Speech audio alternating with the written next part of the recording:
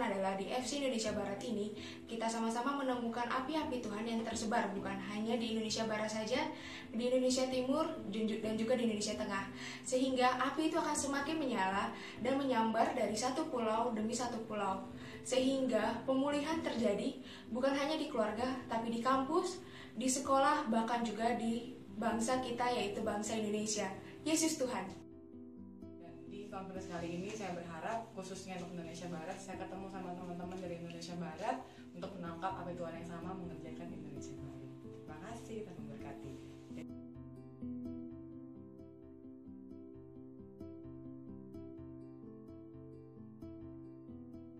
Shalom, nama saya Yael. Sekarang saya bekerja di Makassar.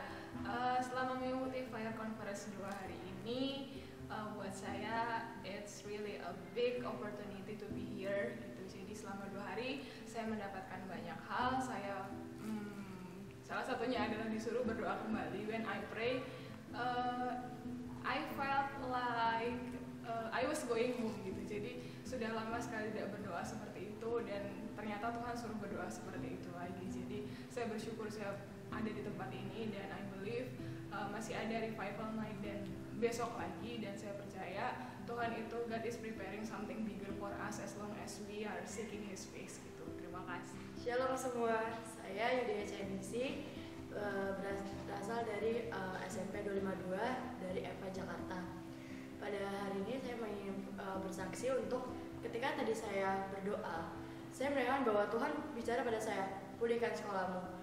Jadi sebelumnya sekolah saya itu terkenal oleh sekolah yang dibilang bisa famous dibilang pada high class semua anak-anaknya dan mereka tuh rata-rata pada anaknya kayak egois kayak mereka kayak mengenal Tuhan tapi mereka kayak egois kayak yang, yang maunya tuh menang sendiri. Dan akhirnya ketika tadi saya berdoa Tuhan aku pengen sekolahku dipulihkan.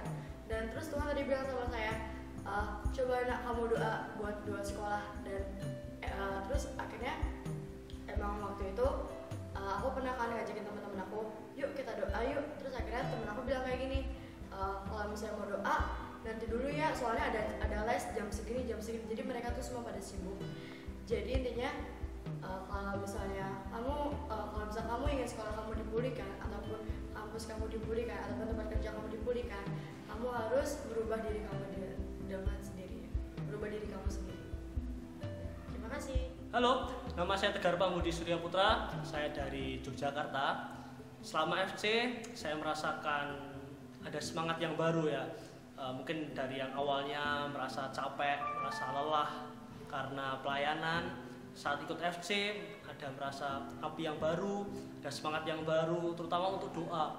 Doa untuk kampus, doa untuk kota, doa untuk bangsa, ada semangat yang baru di situ. Semoga uh, bisa lebih memberkati, Tuhan Yesus memberkati. Shalom, gue Sinta, gue Sharon. Kita dari SMP Pavanderstur Bekasi. Selama Fire Conference ini yang kita dapetin adalah hadirat Tuhan turun atas kita. Dan Tuhan bilang sama kita kalau kita harus berdiri untuk SMP Pavanderstur supaya sekolah kami dipulihkan. Yesus Tuhan.